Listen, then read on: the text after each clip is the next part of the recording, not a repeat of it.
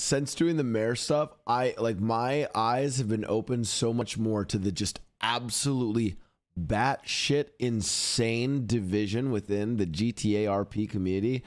That's so funny to see. Where there are people who are always like, these power gaming cops, these W chasing cops, the cops are ruining NoPixel.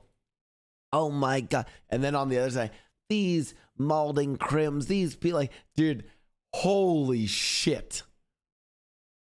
People are fucking insane. It's like it's wild. I fucking love it.